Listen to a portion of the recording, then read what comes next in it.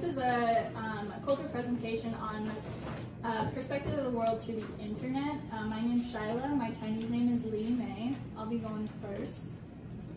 So a lot of us probably use Amazon decently often. I try not to, but you know, shopaholics is a real thing. Um, so what I'm going to introduce to you guys is what's called Taobao, which is kind of like Amazon but in China. So it's one of the most popular uh, shopping apps in China. Um, has many things that you can purchase from like toiletry items to organizational items and pretty much anything that you can think of Taobao has it, just like Amazon does. Um, I, I have to verify, but I'm pretty sure that COVID also helped boost the popularity of Taobao just like it did for Amazon. Um, let's see. So next I'm going to show you guys a video, um, basically just explaining the basics of what it is. There we go.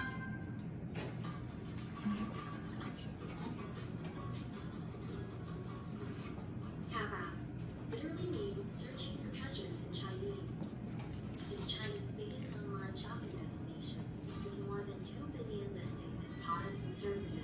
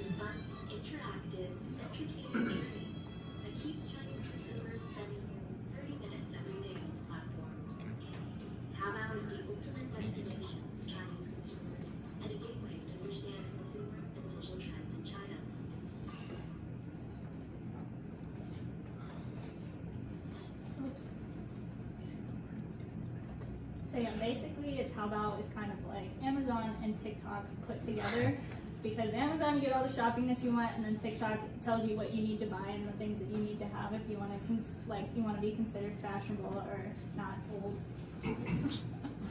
oh. Hold on. And so these are some of the popular items um, as of within the last nine months or so that people have bought on Taobao. So the top picture is the Lucky Fortune Tree decorations where people are putting them literally in every, any possible place that they can find.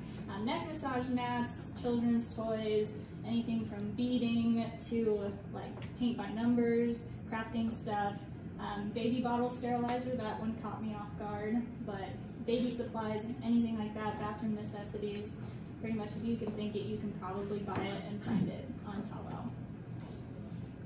Taobao. So I'm Michael, and my Chinese name is Meng Feige.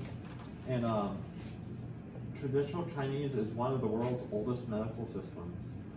It, it is based off the Chinese philosophy of the connection between humans and nature. Its theories refer to internal organs, qi and blood, yin and yang, the fire, the five elements, channels and collaterals, which is shown in the picture in the bottom right, and with that statue or whatever. Um, body fluid, the differentiation of symptom complex, complexes, which is just basically a fancy word for um, diagnosis, diagnosing someone. Uh, methods of diagnosis and so on. Uh, it uses methods to help the body heal itself naturally compared to like Western medicine where you get like a pill or something. You know. main features uh, are a holistic point of view and treatment according to a differentiation of syndromes. syndromes. which is like diagnosis of syndrome. And um, so on the internet, there are many fake and inferior medicinal materials sold. So it's it's pretty difficult for people who aren't are not a professional to identify real and quality medicinal materials and worsens the reputation of the Chinese medicine industry. So this is an example of a listing of uh, a traditional Chinese like medicine material. And this is rhizomes of Chinese gold thread, and it's on uh, zyccst.com, which is the first letters of each Chinese character, or uh, but, but it also means uh, something like honest traditional Chinese medicine materials expert. So um, after Western medicine was introduced in China, there were many ideas about the future of traditional Chinese medicine. Uh, they included only using Western medicine, uh, keeping traditional Chinese medicine, and or using a mixture of both. Um, but recently, an increasing number of people recognize that both medical systems have, have advantages and both should be used for their strong points. Um, hey, hi again everyone, my name is Amelia Matheson. My Chinese name is Miley. Yeah, I forgot to put on the slides here. Um, so my presentation is about video games in China. And so some statistics and background information are about a third of Chinese uh, China's population are gamers, and that includes about 685 million people. Keep in mind that China's population as of 2023 is about 1.45 billion. So revenue from the video game industry as of 2021 was 46 billion US dollars, and between 2020 and 2021, uh, revenue growth slowed and the number of gamers also decreased, probably by uh, due to effects of the pandemic. However, the industry as a whole is expected to grow about 14% compound annually. So that means like it grows 14% of last year's, and then this year, next year is supposed to be 40% of this year's numbers. That's what compound is. If you're familiar with compound interest, it's the same, um, same like strategy. and then also, Mobile gamers uh, games are most popular, and the most popular genres being role-playing games, um, multiplayer online battle arena games, which probably come up later, in like esports, and then also shooting games. They took that from America. um, so the first ban that took place uh, back in the 1990s, and that was when gaming was becoming increasingly more popular, but consoles are expensive. So whereas in the Western world, consoles were readily available, say in America and, in Europe, however, consoles in China were expensive because there were some like um, trade disagreements as well. Um, however, later, with increased international trade, uh, consoles got cheaper. Then the Ministry of Culture issued a ban, a ban on video games and they cited them to be harmful to uh, young people and they also threatened state security and disturbed social order. Again, this goes back to um, the trade disagreements and they thought maybe the games are having a negative impact on state security. The ban, however, was not very, um, never effective because a lot of people were just like, well, you didn't ban computer gaming though. So um, because of this, uh, internet cafes became very popular. They started to boom and expand, and you can have many internet cafes on a single block in uh, many Chinese cities. So the ban was then lifted in 2015 because it was ineffective.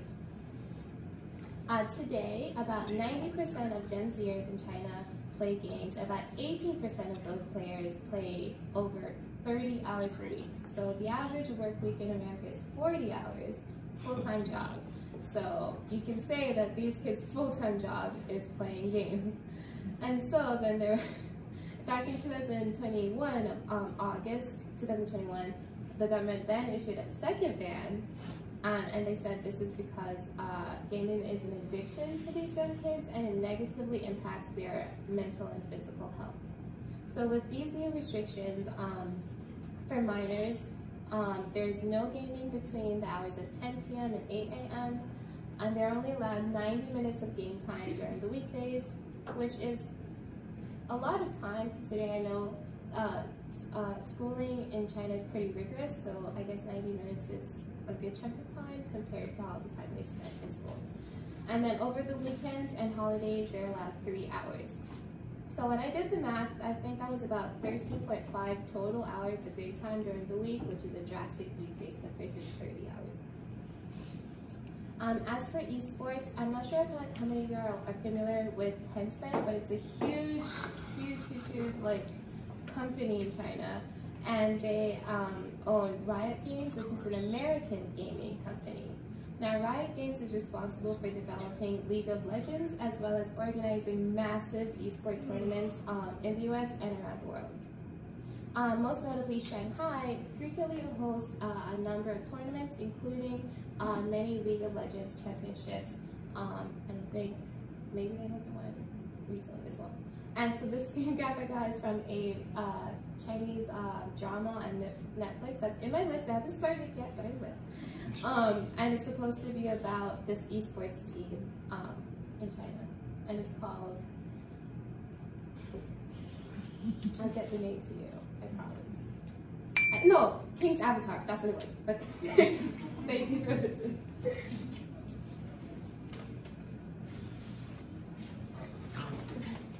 Uh, so I did my presentation on WeChat. My English name is uh, Wesley Barkley, and my Chinese name is uh, Bei Wenjie. Uh, so WeChat is grown over the years. It's transformed into uh, a, a quote-unquote super chat or all-encompassing chat app where it takes up multiple apps all in all in one. It's essential to living in China. Uh, that does everything from paying for food through QR codes to posting on social media. Uh, and to give reference, within China, there's they, you, they don't use credit or debit cards, uh, and ATMs are are are you, you can't really find them a lot, a lot. And so either the two forms of, of uh, paying for something are either WeChat or um, just cash. Um, it rolls four big uh, forms of apps into one. So it has social media, communication, spending money, and then smaller apps baked in within the app. So it has like McDonald's or uh, uh, all sorts of like little apps that you can go through within that. Approximately 40% of company sales go through China through WeChat, which is a lot. Um, it like has a very large hold of the marketplace. Um, and uh, yeah, oh, also like everything uh, within China, uh, China, the government monitors WeChat. So if you're just, if you're using WeChat, uh, it is monitored by them too.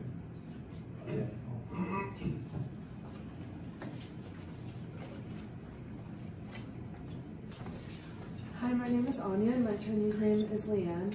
I did my presentation on Dianping, which is kind of a Chinese version of American Yelp. And it literally, Dianping literally translates to public reviews and it contains reviews on everything from restaurants to food trends to hotels, babysitters, and more.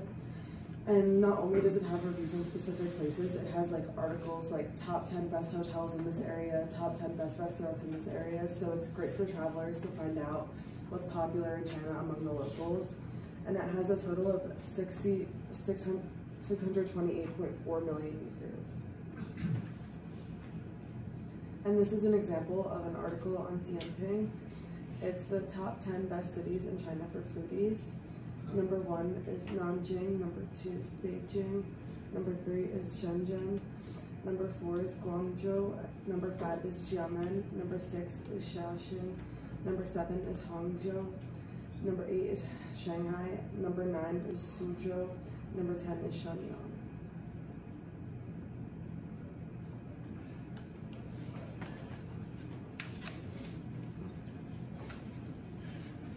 Hi everybody, my name is Peter Simba. My Chinese name is Bi Te. Can you please say your name again? Huh? Please say your name again. My English or Chinese? Yes, your English name. Oh, my English name is Peter. Peter, thank you. Sorry. Alright. Now, here, this is a kind of a continuation of uh, talking about shopping. I presented two, I'm presenting on two websites. One is Alibaba, which I'm saying now. The other one is uh, AliExpress. Um, Alibaba is China's biggest online e-commerce company and is a B2B marketplace. B2B is uh, business to business marketplace. So it's a it's a company that um, is able to like sell and oh, it's a company that sells products and then uh, that sells products and other businesses. Um, and kind of it's uh, kind of similar to uh, like uh, mentioned, although um, it's like a retail model. Um, Alibaba was founded by, founded by Jack Ma in, uh, technically in 1998. Uh, he was born in 1964. Um, Jack Ma was a former English teacher and uh,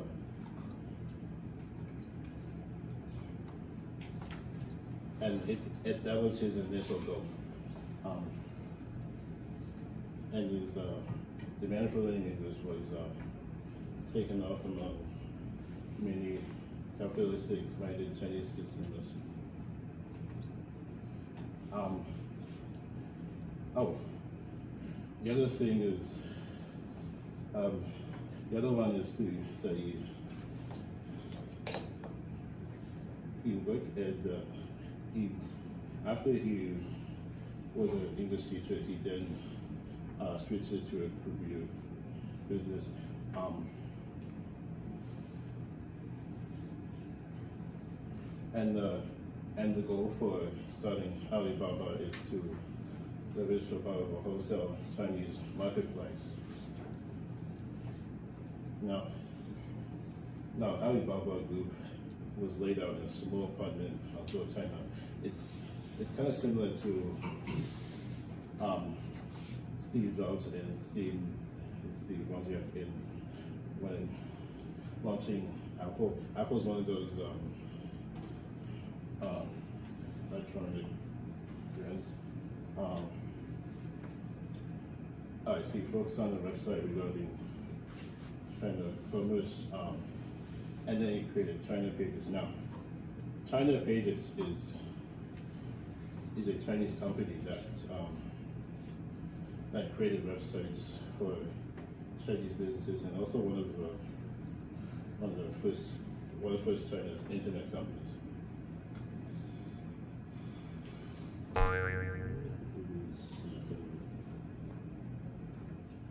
Okay. Okay, the other one is called AliExpress. Now, AliExpress is owned by the Ali Baba Group, which is on has launched in 2010. Now, it's kind of similar to some of the products that you might see in Amazon and eBay. Um, the only difference meaning, the only difference is that most of the products that you see are, that you'll see are cheaper.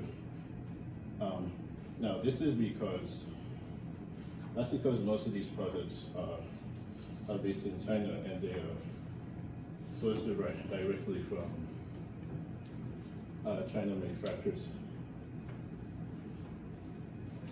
Um, now, some of these, now most of the products that you see are. Um, but one thing, one thing you gotta pay attention to is some of these products um, might be uh, uh, poor quality, especially with um, try. So, so if you do shop there, uh, beware of uh, products that are in use condition. Some of some of them are poor. Now, one of the examples is like electronics with especially with the replacement screen, like I did recently saw one of uh, one of one of YouTubers named Hugh Jeffreys. Hugh Jeffreys is a right to repair advocate, and uh, he uh, in a couple of these videos, um, he saw he fixed a couple of phones. One of which is the uh, Xiaomi phone, which had a cracked screen, um, and the other one was the uh, Samsung Galaxy Note 7, which was which had been recalled.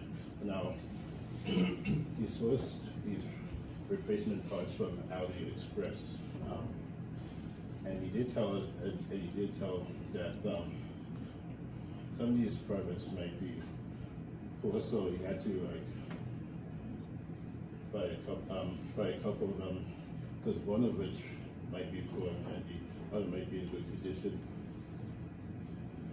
Um, now the Xiaomi phone, um, he um, again he he only used AliExpress parts and oh and uh, again he used uh, a site called AliExpress to uh, create um, to like uh, re restore the phone and though it was good as expected, you might see um, a problem with the screen, uh, particularly when you look at the side where the colors might be inverted. Um, and that's it.